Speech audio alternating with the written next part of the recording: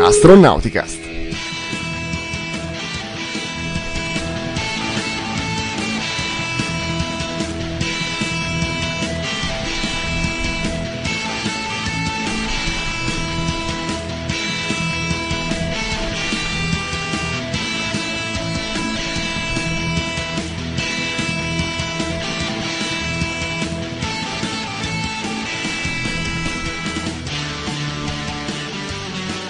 Astronauticast, stagione 5, episodio 2, ancora un po' alle prese con i capricci del nuovo studio, o meglio della nuova impostazione per lo studio, per avere anche il podcast in formato video.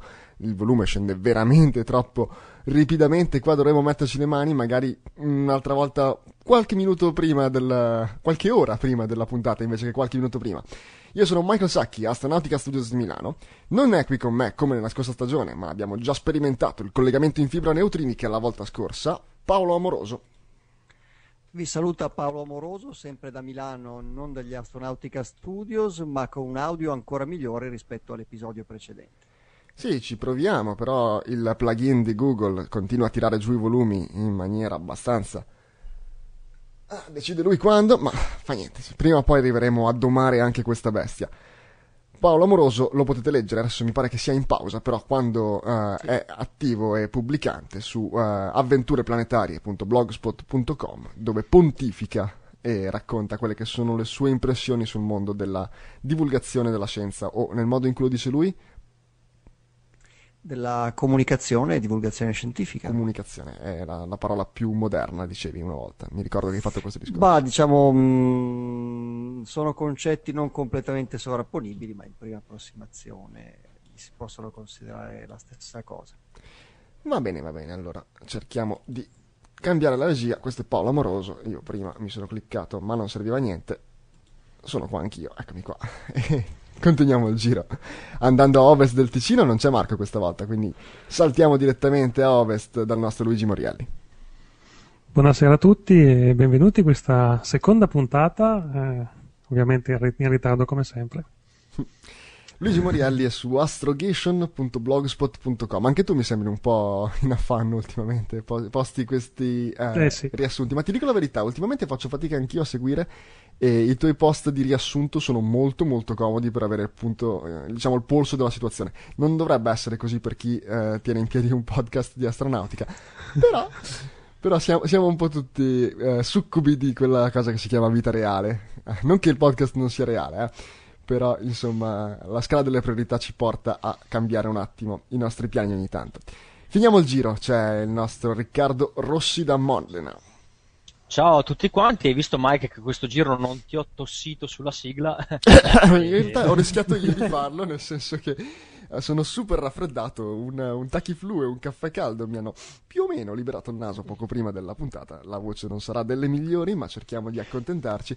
Quello che, se la voce anche torna, quello che non torna è la mente, quella non c'è. Ragazzi, non Questa ce la sera Michael è in modalità Apollo 7.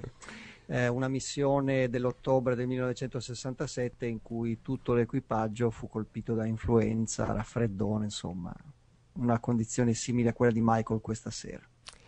Sì, peccato che non sono in orbita, ma forse è meglio così, perché non sarei in grado di tornare a casa. Uh, pa- Marco invece questa sera è stato sequestrato dalla moglie, mi sembra che abbia dato all'ultimo minuto forfè, eh, non ho capito se si era dimenticato l'impegno o che cosa, è arrivata la notizia. Uh, vabbè, salutiamo il nostro Marco Zambianchi, presidente dell'associazione ISA, che ci ascolterà in differita attraverso il podcast, o magari ci sta anche ascoltando in diretta, ma non so se gli ho dato le coordinate, perché da quando siamo tornati in uh, formato video uh, con Ustream invece che con Livestream, anche se le ultime puntate mi pare che fossero in mobile anche con Livestream, comunque adesso abbiamo un pod- un, uno stream completamente mobile compliant, se andate su un canale che assolutamente non ricordo, potrebbe essere qualcosa Sparcher, perché forse è il mio vecchio nickname, non lo so, ve lo metteremo magari nelle note dell'episodio. Uh, potrete anche avere la possibilità di seguirci in uh, mobile, altrimenti ci guardate su YouTube dopo la puntata. Abbiamo fatto questo esperimento la volta scorsa, mm, tecnicamente c'era molto, molto da imparare, però siamo riusciti a caricare un video di praticamente due ore su YouTube grazie al fatto che i limiti sono stati tolti se si eh, certifica il, il proprio nick attraverso un sms, così sanno chi venire a prendere se pubblicate il, l'ultimo Colossal di Hollywood o i video musicali. Noi mettiamo musica assolutamente priva di um, gabelle e tasse varie, e la musica che vi mandiamo è, è in particolare, non l'abbiamo detto la volta scorsa, la sigla nuova si chiama Cittadini del Presente, è di un artista che si chiama Iska con la K, India Sierra Kilo Alpha. Lo trovate su jamendo.com dove abbiamo preso la uh, musica da, da, fin dalla prima, dalla prima puntata di Astronauticast. È un, un, portale che vi permette di accedere alla musica mm, in Creative Commons con vari livelli di licenza Creative Commons, potete usarla per i vostri progetti personali, di solito uh, se non avete scopo di lucro potete tranquillamente uh, usare le canzoni senza pagare nulla. E poi um, scusate cambiamo l'inquadratura e eh, non, non sono ancora la regia abbastanza veloce ragazzi mi sono accorto che fissavo, fissavo Luigi che sbadigliava. Non me ne sono accorto io che sono in diretta. e quindi, comunque, Isca, cittadini del presente. Abbiamo una, un artista italiano per la prima volta. Eh. Abbiamo avuto spagnoli, polacchi e questa volta un artista italiano. Andiamo avanti con uh, le uh, Comunque, se volete il link di Isca lo trovate nelle note dell'episodio. Questa volta anche de- dell'episodio precedente. Eh. Siamo stati abbastanza ligi. Abbiamo dato. Uh, abbiamo tenuto fede alla, ri- alla, licenza che richiede la attribution. E abbiamo detto chi è l'artista. Eh, non l'Isca. Isca. Isca, Isca con la K, non l'Isca. In chat dicono l'Isca, non ho sotto mano la chat. Vediamo un attimo. No, neanche io. Eh. Ah, ah, ah, ok. Non ci crederete, ma con Nessuno ha detto l'Isca in chat. no, Aspettavo che lo dicessi tu, forse, non lo so. Riccardo. Um, con un 24 pollici e uno schermo aggiuntivo non riesco a far stare tutto quello che voglio guardare. Ci vorrebbe una cosa alla Minority Report. Allora, la chat l'abbiamo messa più o meno visibile. Chiedono alla chat Adam Certamen Bonik, che è l'autista di, della canzone dell'anno scorso, è polacco. Uh, uh, uh, abbiamo davanti la scaletta, finalmente. allora, la volta scorsa non abbiamo mandato, abbiamo fatto... La, prima, la prima volta la saltiamo da, da, tempo, non abbiamo inviato la puntata di Egurbina. Sarebbe stato anche un po' complicato perché era grande, era veramente il doppio della dimensione normale, forse l'ho incodata anche a un po' più di qualità, quindi diventava difficile, ma la verità è che mi sono dimenticato. allora un saluto a Diego Urbina che comunque sta uh, avendo sempre più uh, occasioni di comunicare con Terra perché, o meglio, Ricordiamo che Diego Urbina è all'interno di Mars 500, il simulatore di una missione marziana. Stanno tornando virtualmente da Marte e ormai sono a una distanza tale simulata dalla Terra che permette una um, comunicazione bidirezionale senza tempo, senza delay. Eh, di conseguenza può praticamente telefonare a casa, mettiamola così.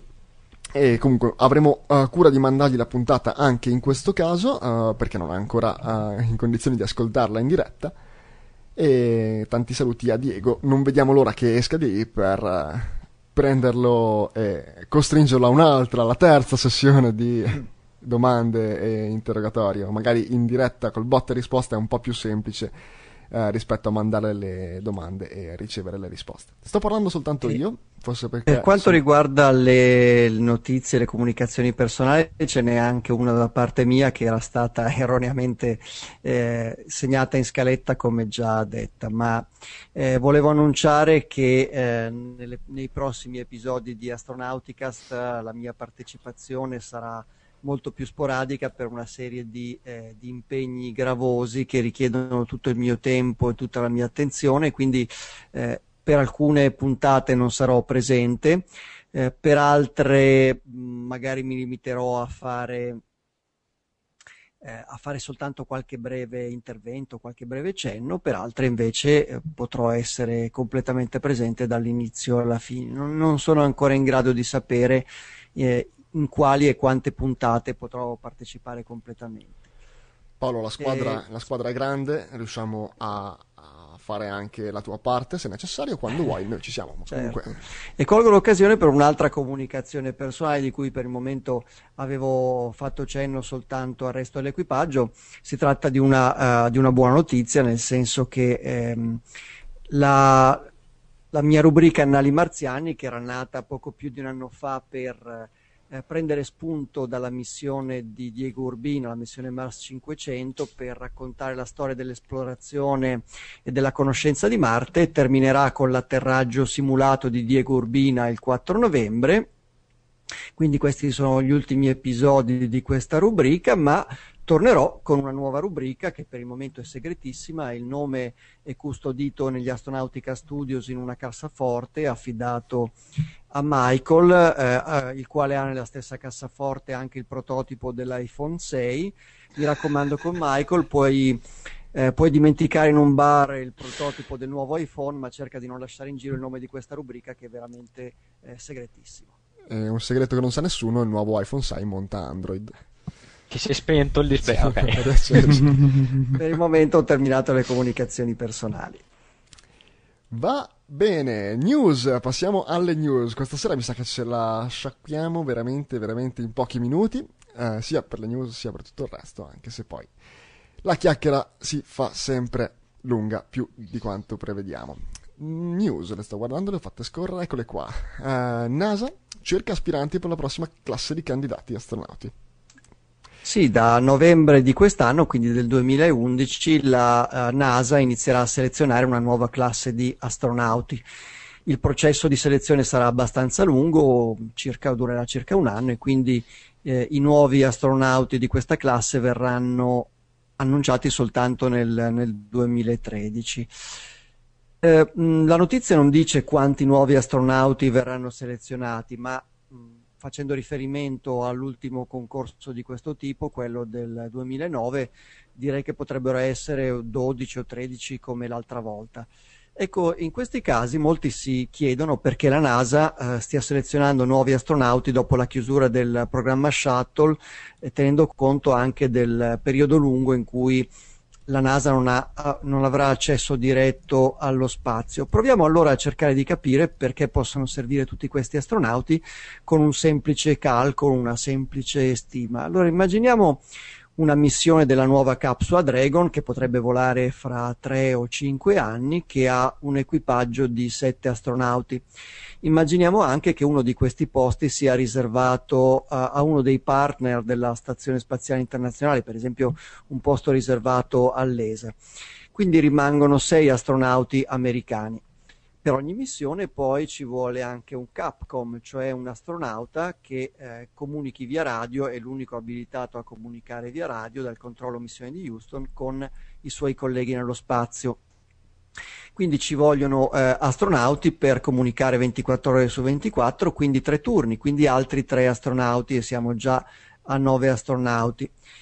Poi ne servono un altro paio perché nel caso di imprevisti, per esempio eh, se, se fosse necessaria una passeggiata spaziale, un'attività extraveicolare al di fuori della stazione spaziale per risolvere un problema, ehm, almeno un paio di astronauti dovrebbero provare la, la- la passeggiata spaziale imprevista nella grande piscina, la Neutral Buoyancy Facility del Johnson Space Center della NASA, quindi servirebbero altri due astronauti e siamo a 11. Teniamo conto che anche prima di una missione un, as- un altro rappresentante del corpo degli astronauti, almeno uno o due, eh, preparano, configurano la capsula impostando tutti gli interruttori, eh, facendo tutte le configurazioni che servono prima del lancio. Quindi arriviamo a 10 o 11 astronauti per una singola missione. Poi gli astronauti servono anche per ruoli di supporto a terra, per esempio per eh, indi- eh, dare consulenza, eh, rivedere procedure che vengono preparate per sperimentare eh, nuove attrezzature da provare a utilizzare nello spazio. Quindi ci rendiamo conto che eh, anche se ci sono già molti astronauti in servizio, con la chiusura del programma Shuttle alcuni di questi avranno un'anzianità troppo, troppo grande, quindi saranno troppo vecchi per quando riprenderanno i voli umani, quindi il corpo astronauti si riprenderà molto meno. La stima che ho fatto, quindi una dozzina di astronauti, è valida solo per una missione, ma eh, in ogni momento del- dell'anno, insomma, ne sono, eh, ne sono pianificate anche diverse, quindi può esserci una missione successiva, ancora con gli astronauti in addestramento, che raddoppia queste richieste, quindi siamo tra i 20 e i 25 astronauti richiesti per un paio di missioni l'anno. Quindi se teniamo conto di tutte queste cifre, di tutte queste necessità, eh, vediamo che eh, tutto sommato può non sembrare così strano per la NASA selezionare un grande numero di nuovi astronauti anche in un periodo di pausa forzata dei voli umani dovuto alla mancata capacità di raggiungere autonomamente lo spazio con un equipaggio umano che eh, ha adesso la NASA per il momento. Uh, se volete diventare dei, dei dipendenti pubblici con um, facoltà di andare in trasferta, possibilmente, uh, potete tentare questa cosa. In realtà bisogna essere cittadini americani, suppongo, giusto? Sì, i requisiti sono i soliti, essere cittadini americani, eh, avere una laurea in discipline ingegneristiche o scientifiche, oppure l'altro classico percorso di accesso alla carriera di astronauta e di ehm, essere dei piloti, quindi dal, dalla carriera del pilotaggio e di avere eh, per eh, entrambi i tipi di, di, provenienza, quindi tecnico-scientifica oppure di pilotaggio, ci vogliono almeno tre anni di esperienza di lavoro nel settore.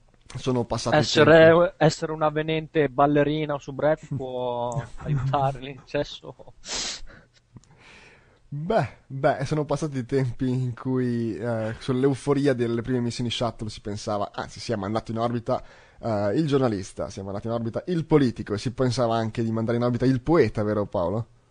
C'era... Sì, ma anche se non tutti i nuovi astronauti di questa classe voleranno subito, ci sarà lavoro da astronauta per tutti già da subito. Vabbè, assolutamente.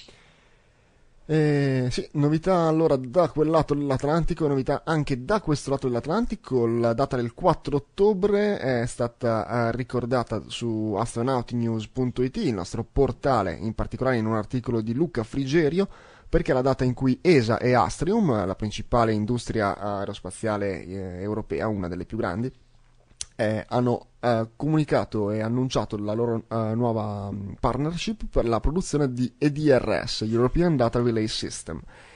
In pratica che cos'è? È una rete, attualmente eh, sono previsti due satelliti, ma eh, potrebbe evolvere ulteriormente, due satelliti al momento per eh, coprire l'intero globo con una rete di comunicazione in banda ottica, quindi non soltanto in banda uh, radio, ma in banda ottica. Questo permette di risolvere innanzitutto un problema abbastanza uh, che non, non, non, viene percepito molto, ma lo spazio è molto grande, però le frequenze a disposizione sono quelle, frequenze che sono più adatte per parlare dalla, dall'orbita a terra o anche tra satelliti in orbita sono limitate, eh, sono alc- ci sono alcune più, eh, lo, lo, spettro delle radiofrequenze è molto grande, ma alcune sono più adatte di altre e quindi eh, questo porta a interferenze e alla do- necessità di dover segmentare la banda utilizzata in uh, quindi divisione di tempo, divisione di frequenza, in generale con un'efficienza molto bassa. Questo tipo di uh, collegamenti ottici invece sfruttano dei laser per trasmettere informazione con la luce. Di fatto si tratta uh, di un concetto analogo a quello della fibra ottica, con la differenza che manca la fibra è soltanto una mh, mm, trasmissione di luce attraverso un laser direttamente da satellite a satellite o da satellite a ground station. Potevano usare neutrini. Sì, infatti, noi abbiamo la fibra neutrinica, l'abbiamo detto la volta scorsa, acquistata grazie alle vostre donazioni. I nostri studio sono collegati con la fibra neutrinica che va più veloce della luce, con i tunnel scavati grazie alle vostre donazioni ma invece nello spazio non si possono scavare i tunnel per i neutrini e poi c'è molto rumore neutrinico che arriva dal Sole o da altre fonti ehm, extraterrestri.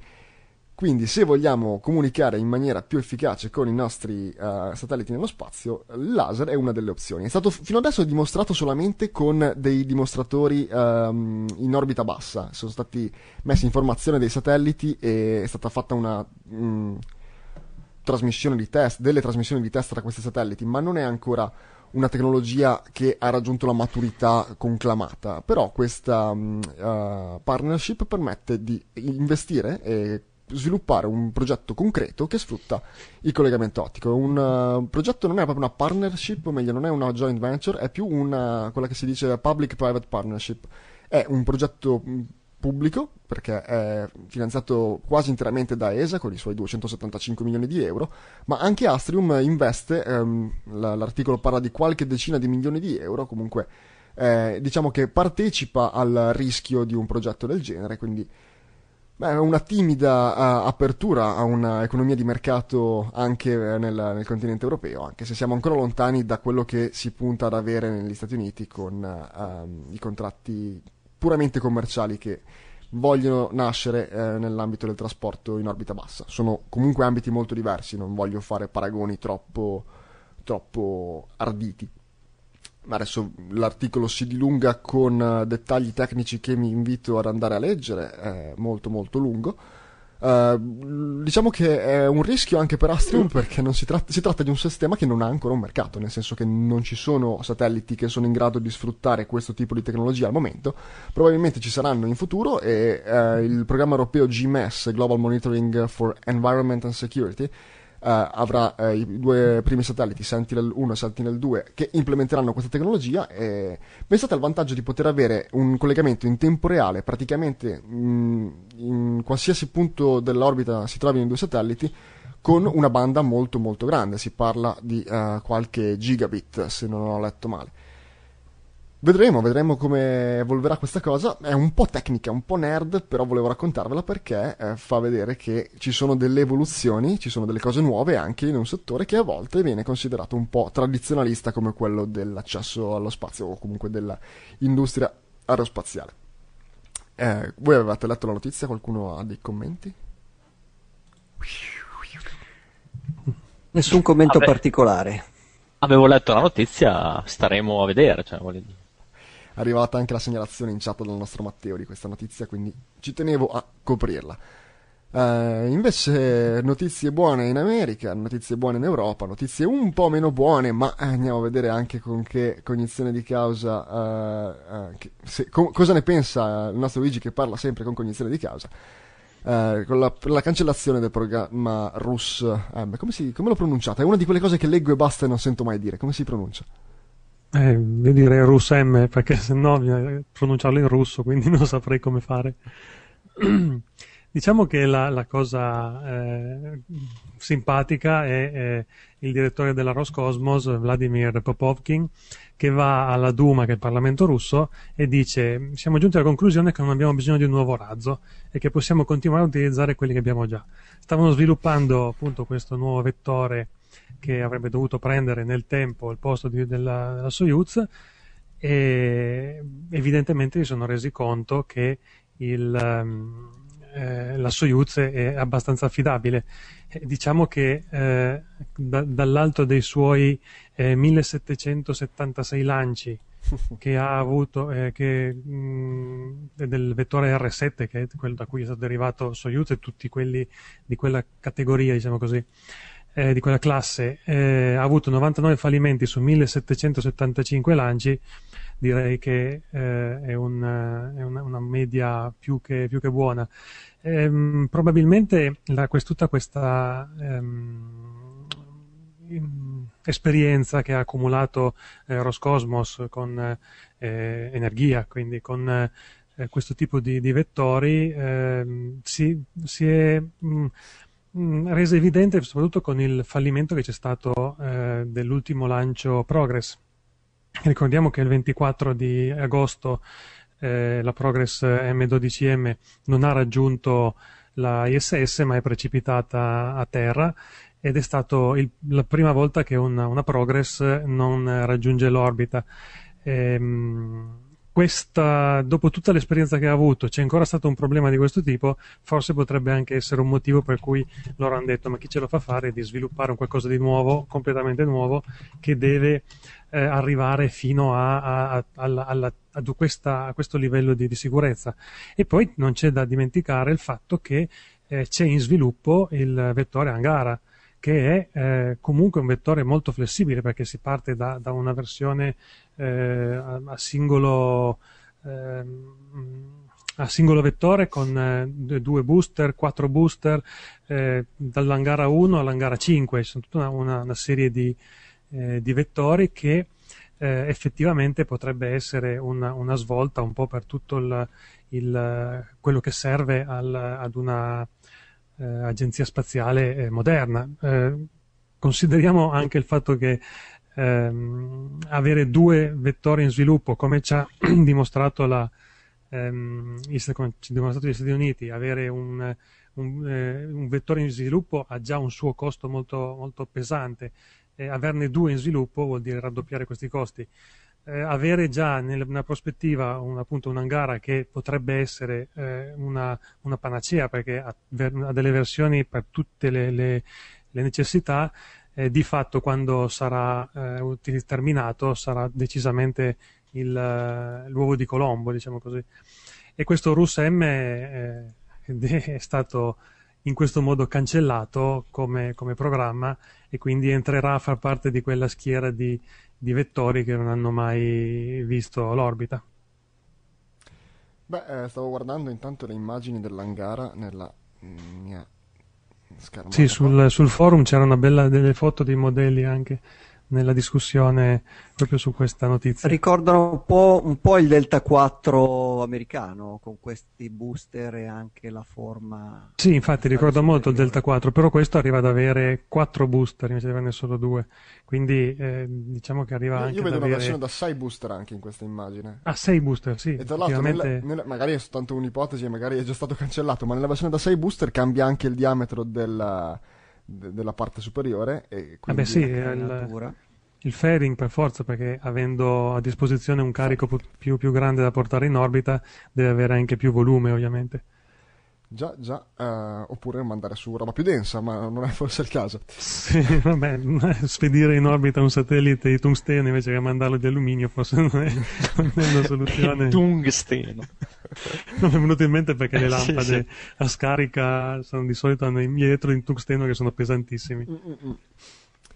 Uh, ok, uh, staremo a vedere anche, anche, lì. Diciamo che la Russia non ha un record particolare, ha un record ottimo di affidabilità tutto quanto, esclusi i, gli incidenti o i fallimenti recenti, ma dal punto di vista dell'innovazione si trascinano un po' ultimamente. Speriamo che qualcosa vada. vada... Eh diciamo sì. che l'Angara Consideriamo che il, la serie, la classe R7 dal 1957 che, che, sta, che viaggia verso l'orbita, quindi ha un bel eh, un po' di anni sì. sulle spalle, eh, infatti. Eh, beh, non verrà sostituita se, se, passa l'Angara. L'Angara sostituisce il Proton come classe, non, non il Soyuz. Quindi... Sì, beh, eh, diciamo che essendo un nuovo vettore, magari si può, potranno anche pensare di fare una, una versione Manned, perché comunque il discorso è quello. Eh, sostanzialmente Rus M sarebbe stato la, il vettore Manned. Ehm, qui invece eh, si trovano bene con questo di fatto. Vabbè, noi staremo qui a raccontarvi per quanto possibile, per quanto nelle nostre capacità, questo tipo di eh, notizie. Eh, chi invece si occupa di divulgazione, di rendere famose e famose, no, di rendere conosciute al grande pubblico, in particolare ai giovani, le attività eh, spaziali è eh, NASA e altri eh, enti che ci racconta il nostro Ricky. Sì, sono un po' tutte le agenzie spaziali, chiaramente NASA in primis, che da sempre si danno da fare per eh, stimolare i ragazzi più giovani ad avvicinarsi al mondo della scienza ed in particolare dell'astronautica. E ci sono in corso in questi giorni due, due belle iniziative che vi vado adesso a descrivere. La prima si chiama Mission X, che probabilmente qualcuno la, la, se, se, qualcuno si interessa di, di, astronautica l'ha già sentita nominare perché in realtà un progetto pilota c'è già stato e infatti se vi ricordate anche Palone Espoli quando era eh, nello spazio per la, per, la, per la, sua missione magistra ha mandato qualche foto in cui lui teneva un cartello con scritto Mission X mentre era intento, non so, a, a correre sul tapirulan o comunque mentre stava facendo attività fisica. Questo perché eh, Mission X, la sua, diciamo, nome completo è Mission X allenati come un astronauta ed è un'iniziativa rivolta a ragazzi che vanno dagli 8 ai 12 anni ed è incentrata appunto sul, eh, sul sensibilizzarli a eh, capire l'importanza dell'attività fisica e dell'alimentazione proprio ispirandosi a quello che fa un, un astronauta, quindi a, all'allenamento tipico che fa uh, un astronauta. E quindi si chiede alle scuole interessate di, for, di, formare dei gruppi di massimo direi 15 studenti e le varie scuole si metteranno in competizione tra di loro in varie attività sempre ispirate al mondo dello spazio e ad ogni attività verrà assegnato un punteggio e alla fine ci sarà una, una classe vincitrice che eh, avrà l'opportunità di eh, conoscere un astronauta. È secondo me un'iniziativa molto, un'iniziativa molto carina e quindi se eh, avete dei, dei, dei, figli o comunque potete, se siete insegnanti eh, potete secondo me eh, attivarvi per poter organizzare questa cosa con la vostra scuola c'è poco tempo perché in questo caso dunque scade il 24 di ottobre la, la, la iscrizione e dovete avere una scuola che ovviamente ha una palestra perché eh, come, come, avrete potuto intuire molte attività sono eh, di educazione fisica comunque eh, c'è bisogno di spazio per poter fare i vari giochi i vari, le varie attività e, e deve essere diciamo questi gruppi di, di ragazzi devono essere ci deve essere la, su- la, supervisione di un professore di scienze o comunque qualcuno che si occupa di insegnare scienze e chiaramente anche un docente di educazione fisica. E per i contatti per, per, quanto riguarda l'Italia li potete trovare sul sito dell'ASI oppure anche del Planetario di Milano, no? Vero Paolo? Sì, anche il Planetario di Milano è fra i partner di questa iniziativa. Uh, segue in particolare Mission X per il Planetario di Milano Cristina Olivotto, che eh, gli ascoltatori di questo podcast di Forum Astronauta, eh, Astronautico conoscono. E per il momento abbiamo già ricevuto qualche adesione, ma uh, vi invitiamo a mandarne altre se, se siete interessati a partecipare nella, nella nostra zona, insomma, nella zona attorno a Milano o nel nord Italia. Cristina Livotto potremmo anche chiedere di partecipare a una delle nostre puntate per raccontarci questa esperienza, sì, sì, magari verso, verso, la fine del progetto. Questa, e non solo questa esperienza. non, non è la pri- diciamo che non è la prima di cui si occupa, mettiamola così. allora. Mentre invece c'è, eh, scusami Mike. No, no, vai, è vero, ce n'è ancora una, ti stavo per uh, passare sopra, vai, vai, vai. Per, eh, per diciamo invece i ragazzi un po' più grandi, cioè dalla fascia d'età che va dai, dai 14 ai 18 anni, c'è un'altra iniziativa ancora che è, è, si chiama YouTube Space Lab. Eh, questa iniziativa è un po' più, diciamo, chiaramente, visto che è, invita a partecipare dei ragazzi un po' più grandi, è un po' più eh, di, di, alto profilo, per così dire, perché viene richiesto ai ragazzi di pensare ad un progetto, ad un esperimento da poter eh, effettuare sulla stazione spaziale. Quindi se voi andate sul sito, chiaramente i link ve li lasciamo nelle note dell'episodio, eh, andate sul sito del, dello YouTube Space Lab, ci saranno scritti diciamo, eh, i vari paletti che i vari gruppi di ragazzi devono avere per, per, fare questo esperimento, perché sulla stazione spaziale non è che si può fare qualsiasi cosa, avrete eh, un'idea di quali materiali potete usare, insomma, di, di come vi potete muovere e, e potete eh, proporre la vostra idea mandando un video, appunto perché è YouTube che è, diciamo, eh, è il contenitore di questa, di questa, sfida, un video dove voi presentate eh, il vostro progetto. Potete farlo da solo, potete farlo in team. E, mh, ci saranno due, due fasce di categorie, cioè i ragazzi dai 14 ai 16 e i ragazzi dai 17 ai 18 e non so se l'ho già detto, termine 7 dicembre, quindi ingegnatevi perché se eh, sarete bravi oltre, eh, e, vin- e, vincerete, comunque sarete tra i finalisti, oltre ad avere la possibilità di vedere effettivamente il vostro esperimento eh, effettuato nello spazio, potreste andare a vedere il lancio del vostro esperimento eh, verso la stazione spaziale, si parla di andare in Giappone, quindi suppongo che sarà caricato su un HTV, un HTV quindi eh, una, quindi bello, oppure addirittura c'è eh, un altro premio per andare in Russia e fare una sorta di eh, addestramento mh, propedeutico per diventare astronauti, e quindi è sicuramente una, una, un'iniziativa allettante. Uh, mi sono scordato di dire che questa iniziativa okay, è su YouTube, però la uh, promuove Space Adventures, che la conosciamo per aver, diciamo, famosa per i voli turistici sulle, sulle, sulle Soyuz e però comunque è patrocinata sia da NASA, sia da ESA, sia JAXA e, e tanti, comunque tanti altri sponsor di rilievo. Mm-hmm. Grazie Riccardo, io rimango estasiato quando... Innanzitutto ti chiedo scusa perché per una parte del tuo intervento inquadravo Paolo e non inquadravo te, ma eh, la tua posa appoggiata, rilassata alla poltrona è qualcosa di assolutamente eh, professionale, sono, sono estasiato. Bravo. Eh, ma sotto sono in mutande. No, non è vero. Va bene, e questo è il momento di solito dell'interludio, non abbiamo ospiti da uh, sottoporvi, anche, anzi siamo addirittura noi in meno, quindi è arrivato il momento di battere cassa, ma prima di farlo ringraziamo quelli che hanno donato qualcosa durante questa settimana, abbiamo una, uh, anzi due iscrizioni all'associazione alla, um, ISA, quindi hanno donato 18 euro, diciamo non è soltanto uh, una donazione per Astronauticast, ma va nello stesso calderone e ci aiuta ugualmente abbiamo eh, Ivano Viano, che eh, spero non si abbia male, ma io ho sorriso quando ho visto il suo nome perché ha il cognome che è un anagramma del nome o viceversa, direi il contrario.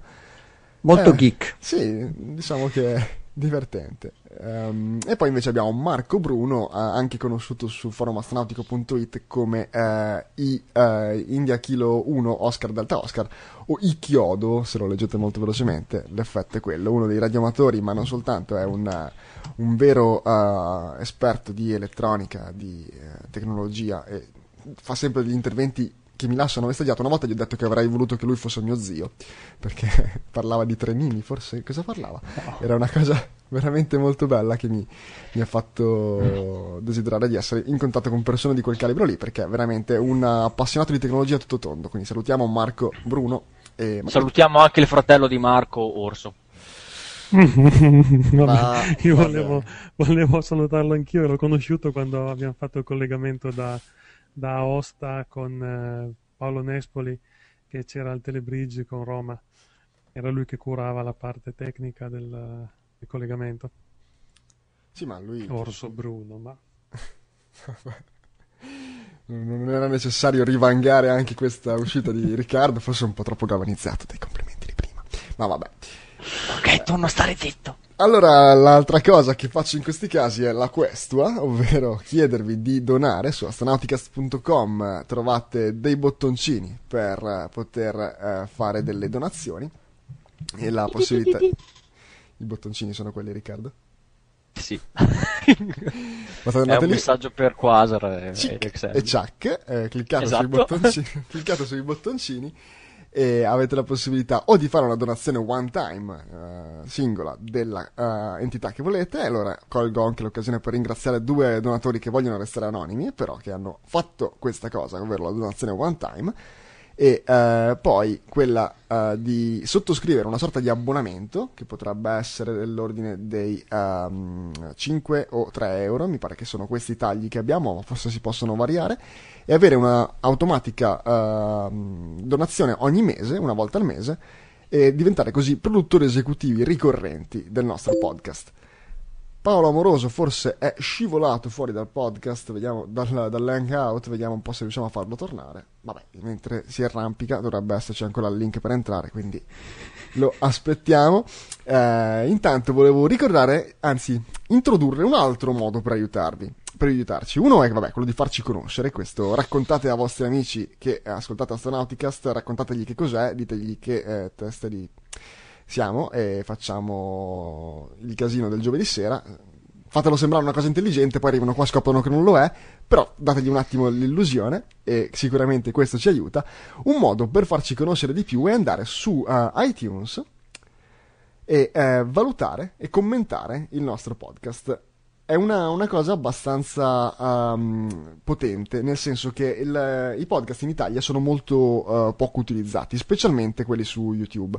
Quindi è relativamente facile salire in classifica. Noi siamo uh, intorno al trentesimo podcast più ascoltato d'Italia e di sicuro non facciamo numeri uh, particolarmente alti. I primi sono tutti podcast con alle spalle dei gruppi editoriali, sono podcast di Radio DJ ad esempio, o di Radio 24, eh, possono contare su ben altra promozione e ben altri numeri, quindi potremo uh, aspirare ad andare in un Olimpo uh, insieme a giganti come quelli, non, uh, non necessariamente giganti dal punto di vista del, noi, noi cerchiamo di essere un'alternativa all'old media, quindi non è che vogliamo andare con loro, ma vicino a loro ci fa comodo. Andate su iTunes e cercate Astronauticast, commentate, mettete le stelline, mettete quello che volete, dite anche come, come dice il trio Medusa su Radio DJ cosa che dicono loro. Non citiamoli, va. ecco, mi è venuto in mente adesso, no, non si può dire. E poi, e poi eh, troverete, speriamo di riuscire a salire un po' la classifica, diventa veramente una vetrina molto molto potente, eh? sì, una volta che si finisce nelle prime pagine comincia a diventare abbastanza facile essere, essere scoperti. Detto questo, uh, posso proseguire con le rubriche. Marco? Uh, Paolo, sei tornato? Sì. Uh, sì. Cioè, Sono di nuovo in linea. Hai una sigla ho oppure comincio? Ho la sigletta breve, stordirò, stordirò qualcuno forse.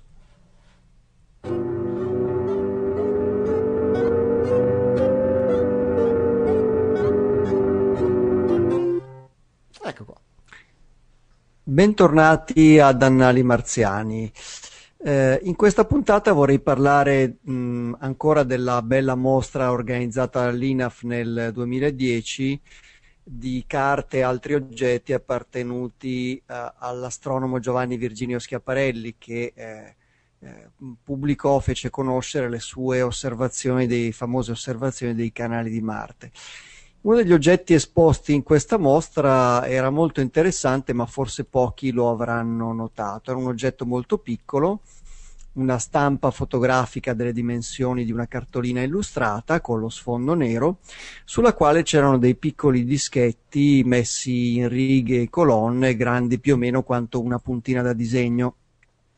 Eh, erano eh, fotografie mh, stampate tutte su una, su, una stesso, su una stessa fotografia, su una stessa immagine, su un unico foglio di carta fotografica, riprese in momenti diversi con un telescopio all'epoca molto famoso tra la fine dell'Ottocento e l'inizio del Novecento per lo studio di Marte. Era quello dell'osservatorio Lowell, fondato da Percival Lowell, uno dei, eh, dei più famosi sostenitori dell'esistenza dei canali di Marte, un uomo d'affari americano eh, molto facoltoso che era diventato astronomo e si era costruito un osservatorio per studiare Marte.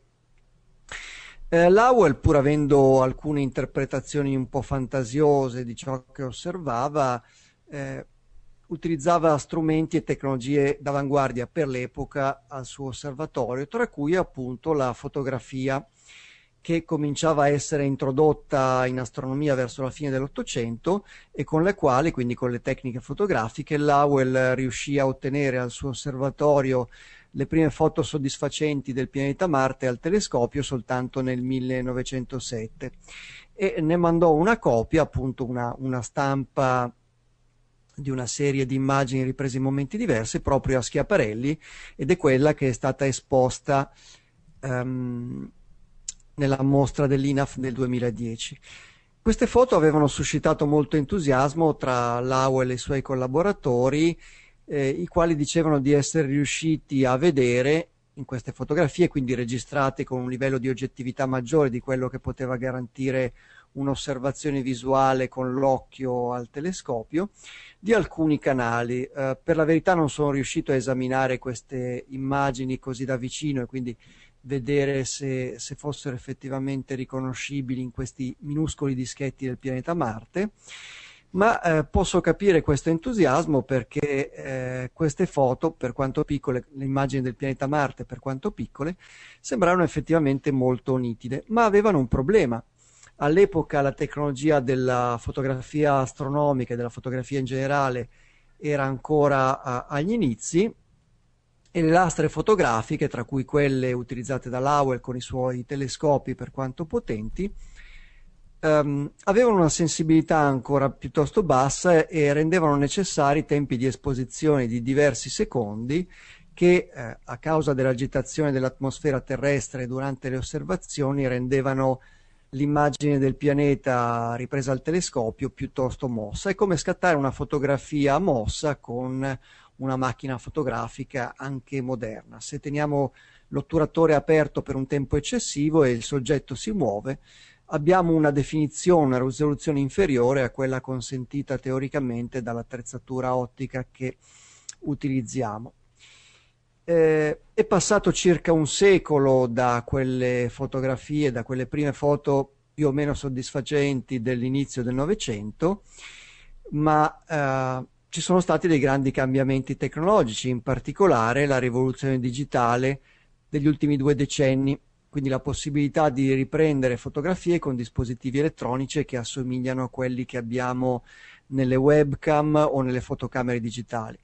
E quello che all'inizio del Novecento era uno svantaggio, quindi la necessità di tenere aperto l'otturatore per diversi secondi, con le tecnologie digitali è diventato uno strumento importante per ottenere fotografie e immagini di, di migliore qualità perché eh, attualmente eh, gli astronomi dilettanti, anche con strumenti piccoli, eh, invece di riprendere singoli fotogrammi, eh, realizzano dei video di alcuni secondi e con eh, algoritmi di elaborazione delle immagini i singoli fotogrammi vengono eh, sovrapposti e allineati, combinati insieme in modo da dare un'immagine risultante che riesce a raggiungere una definizione, una capacità eh, risolutiva molto più simile a quella teorica consentita dal telescopio. Quindi eh, immagino che Percival Lowell sarebbe rimasto sorpreso dalle fotografie, dalle immagini digitali che oggi raccolgono, riescono ad ottenere gli astronomi dilettanti con strumenti anche più piccoli dei suoi e con eh, definizioni paragonabili quasi eh, come quantità di dettagli visibili anche alle migliori fotografie ottenibili anche con telescopi spaziali o con i maggiori telescopi a terra. E anche con, con questo episodio di Annali Marziani ho terminato, vi do appuntamento al prossimo episodio.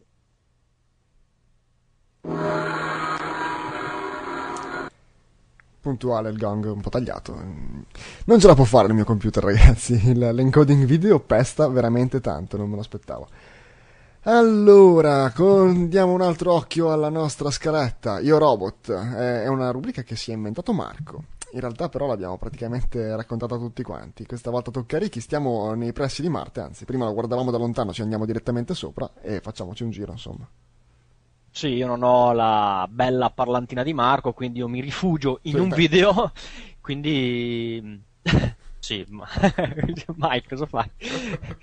no, segnalo questo video che troverete il link eh, nelle note dell'episodio, non so se Mike riesce a mandarlo adesso, praticamente è, eh, sono una serie di immagini scattate da, da, rover Opportunity nel suo viaggio che l'ha portato dal cratere Vittoria al, al cratere Endeavour, questo percorso che è stato coperto circa in tre anni sono 309 scatti, quindi voi vedrete fotogramma per fotogramma l'avvicinamento del, eh, del, del rover. La cosa curiosa è che eh, come colonna sonora di questo video hanno praticamente usato i dati che l'accelerometro di bordo riceve quando il rover si sposta. Chiaramente questi, questi, questi dati li hanno trasposti per avere un segnale audio e quando eh, si sente un rumore tipo di crepitio eh, corrisponde a uno, a uno, scossone, a un movimento più eh, sussultorio del rover, quindi il terreno in quel, in quel, frangente è roccioso. Mentre invece quando sentirete tipo un rumore di fondo, un white noise, è, è praticamente quando il rover si trova in una zona sabbiosa. È, abbastanza affascinante, vi consiglio di darsi un'occhiata se avete tempo, dura poco, sono tre anni in tre minuti. Ah, stiamo guardando, non so se sentite l'audio. No. Lo sto tenendo abbastanza basso perché non volevo passare Adesso sotto. sì, meglio. Non va a scatti, è effettivamente una serie di sequential stills. Quindi avete visto c'è una, una serie di immagini in cui si vedevano delle tracce parallele, probabilmente il rover che è tornato sui suoi passi sì, se ne parlava anche sul forum, probabilmente è un punto in cui il rover eh, da quella direzione non, non, non, poteva andare avanti, comunque era difficoltoso, quindi magari l'hanno rimandato indietro. Ma non sono tutte riprese eh, verso avanti, quindi sono anche riprese nella direzione da cui stava provenendo, quindi le tracce potevano sì, ma, sì, sì, no, sì. ma erano due tracce parallele. Sì, che sono le, le vabbè, certo. la, la, maggior parte sono diciamo all'avanti nel, nel, nel, senso di avanzamento, però è un po' un mix in realtà. Di... No, ok, eh, due coppie, per quello era, era, era, era notevole Luigi. Ah sì, capito, come ci Cioè- fosse stato un altro a fianco. Esatto, sì, esatto. Esatto, eh, un, un drag race tra... Esatto. Io ho guardato il video aspettando di vedere l'ingresso nel cratere Victoria, eh, aspettando di sentirmi magari delle variazioni più forti nell'accelerometro. In realtà, però, a questo livello di compressione direi che non si nota la differenza perché non è che è caduto, è sceso e questo dovrebbe essere appunto il cratere Victoria. Ma è appena appena più ah, percettibile. No, non è un po' piccolo quello, non è il cratere Victoria. E poi mi No. pare che quello che si vede là nella distanza sia il bordo del cratere Endeavour. Esatto. Esatto. Rumori Eh, non so, io ho dallo da un, mon- da un altro mondo. Vabbè, è una cosa un po' così curiosa, non è niente di.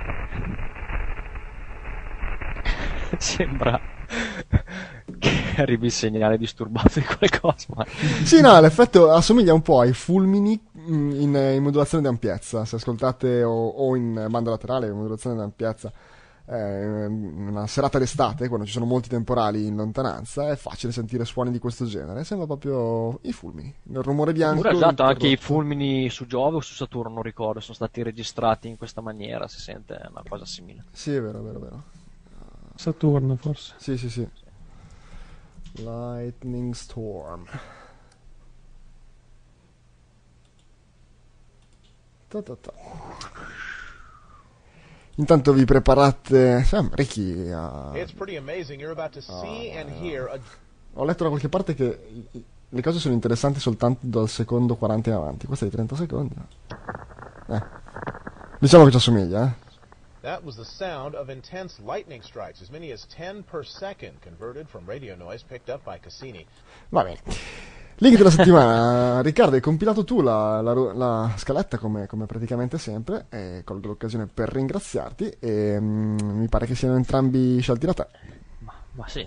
Sì, la scaletta comunque è un lavoro fatto a 4, 6, 8, 10 mani quando ci mettiamo le mani tutti però.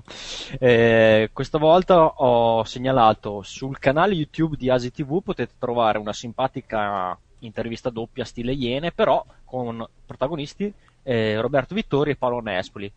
È carina perché eh, sono due grandi professionisti, però hanno che- caratteri diametralmente opposti, quindi è curioso vedere come rispondono a- alle domande che gli vengono fatte. Sono quattro video e potete, potete guardarli. Io non ho ancora Invece avuto su- modo di vederli. Ne- Vediamo un pezzettino.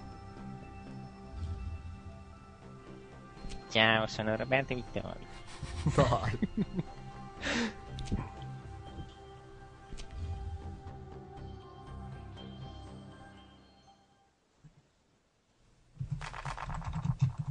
È incredibile, i primi secondi di video sono sempre inutili. Non capita mai. Nespoli. Professione. Astronauta. Ah, ingegnere astronauta. Quando hai deciso di fare Quando hai deciso di fare l'astronauta? Sono stato selezionato. L'idea è venuta da bambino quando guardavo questi astronauti che saltellavano sulla Luna e facevano le derapate con, con la jeep lunare, ma la decisione vera poi è venuta a 25 anni con un pochettino più di senso in testa. Perché hai deciso di fare l'astronauta? In realtà non so esattamente, eh, non c'era un progetto, è stata una coincidenza, febbraio del eh, 1998, pratica di mare, pilota collaudatore, vengo a sapere del concorso dell'ASI. Solo domande. nome e grado. Ho deciso di seguire il sogno che avevo pensato, ho avuto da bambino, perché a 25 anni ho, ho pensato di avere qualche possibilità e che questa cosa... Michael, perché hai deciso di fare sentire Eh, sono stato selezionato. O che, o che mi avrebbe fatto sentire realizzato. La tua prima volta nello spazio. 2002. STS 120 2007, eh, lanciato da Capo Kennedy con eh, lo Space Shuttle e questi sono stati i miei primi, primi 15 giorni in orbita. La cosa che ti piace di più dello spazio. La vista della Terra, la vista delle stelle. Il fatto di essere fuori da questo mondo, di provare queste- questa sensazione di vivere in questa nuova- con queste nuove leggi senza la forza di gravità e la capacità di guardare giù e vedere la Terra nel suo insieme. Quella che ti piace di meno. Il mangiare. A dire la verità è il rientro che forse quando uno sta in orbita... Vabbè, lo lasciamo guardare. allora, io spero veramente che... Eh, non ho mai avuto modo di parlare con, eh, con il colonnello Vittori. Mm, spero che mm, abbia un po' di senso dell'umorismo e si diverta, perché è troppo facile mm, ridere di questa cosa. La differenza comunicativa tra i due è veramente abissale. Abbiamo Paolo che è un, un chiacchierone, uno che ama uh, parlare e raccontare le cose in maniera molto, molto grafica, molto divertente. E dall'altra parte abbiamo un, un militare, un militare proprio professionista, diciamo nome, grado, matricola e nient'altro. Come se fosse interrogato in, in terra nemica. Allora, qui come al solito la regia mi abbandona. Voilà. Uh, l'altro link invece? È una cosa un po' più da, da feticisti dello spazio, è praticamente un grafico che hanno fatto due, due, due tizi, un certo Tommy McCall e Mike Orkut, che praticamente hanno messo, eh, hanno conteggiato i lanci spaziali, non tanto i lanci spazia- spaziali, ma il numero dei payload che eh, le varie nazioni hanno lanciato nello spazio dal 1957 ad oggi. E sono divisi per na- nazionalità e quindi il grafico mostrerà sulla sinistra due grafici più preponderanti che sono chiaramente quello eh, de- dell'Unione Sovietica prima, Russia dopo e de- degli americani, però ci sono anche gli altri, gli altri paesi e-, e, in più abbiamo delle le, le, mh, um, le barre sono colorate diversamente eh, in corrispondenza del diverso eh, diciamo, del diverso scopo. payload, se, scopo del payload, se era militare o commerciale o, o anche amatoriale, insomma è carino, poi hanno fatto questo grafico che è simmetrico, cioè le barre sono simmetriche, quindi fanno queste forme che come ho scritto sembrano un po' delle astronavi viste in pianta, degli, delle navi di Star Trek sì, dietro, dietro quella degli Stati Uniti c'è scritto We break for nobody. E... esatto eh, me la sbatto la cintura. E poi eh, no, è carino tipo notare che ad esempio la Cina, che ultimamente sta eh, avendo un, un picco della, da, per quanto riguarda la, l'attività spaziale, vedrete che il suo grafico ha, verso il basso è molto sottile, sottile, sottile, poi man mano ci avviciniamo ai, ai, giorni nostri si sta ingrandendo, cioè la prua della na- dell'astronave eh, si sta facendo preponderante è un grafico così carino, da... ecco. ci sono degli spunti interessanti, anche l'Italia insomma non è messa male. Comunque i primi lanci cinesi risalgono agli anni 70, non credevo. Sì, i primi lunga marcia credo, nella metà degli anni 70. Ah sì, ce n'è uno poi eh, per qualche un anno. Un programma nulla. metodico, lento ma metodico, quello spaziale cinese.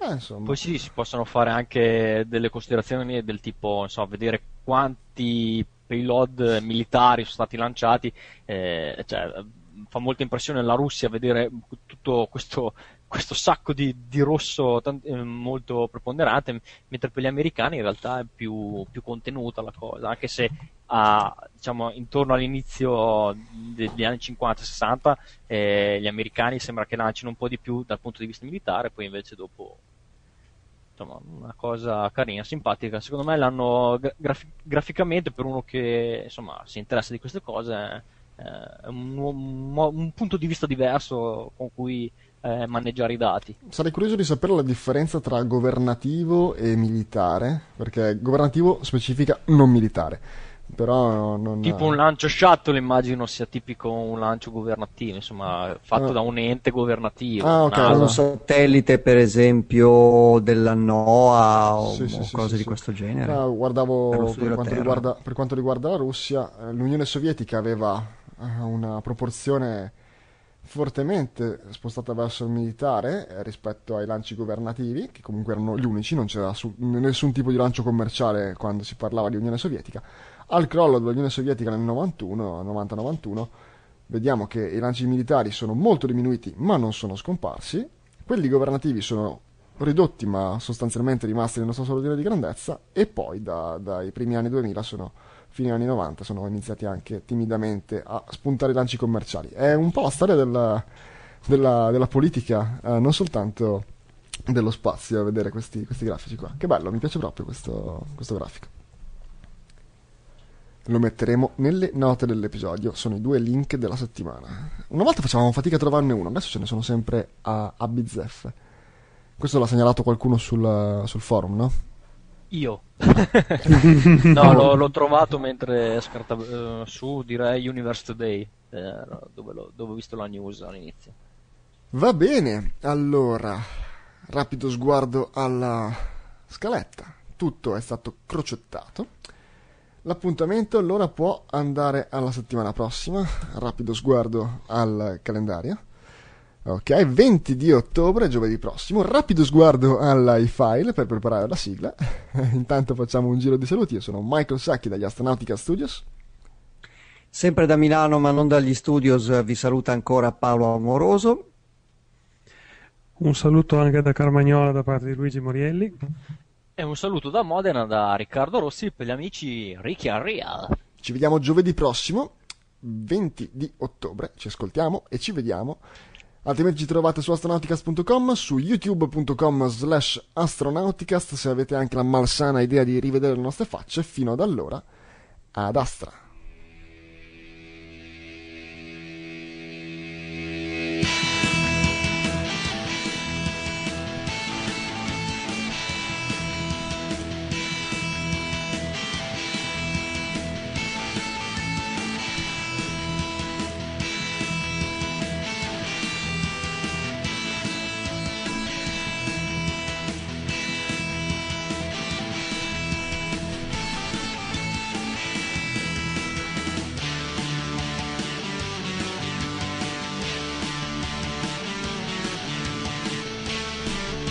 Non so cosa è successo a Ricky, ma è riuscito a cadere anche dalla, dal hangout perché si stava agitando, avrà strappato qualcosa.